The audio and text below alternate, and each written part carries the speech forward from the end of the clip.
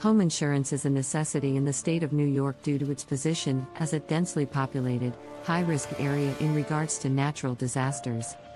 New York is exposed to storms and floods, making it necessary for homeowners and renters alike to have adequate home insurance coverage.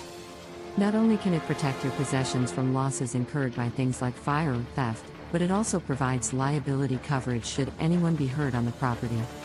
As such, home insurance is absolutely required in New York, and failure to carry adequate coverage could result in substantial fines.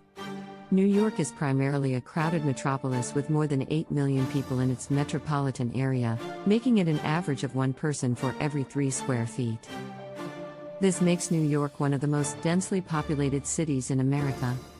As such, severe weather often causes damage to homes and property, and home insurance can help cover these losses. Even though New York has nearly as many skyscrapers as San Francisco does, it also faces a risk of natural disasters like hurricanes that could cause extensive property damage.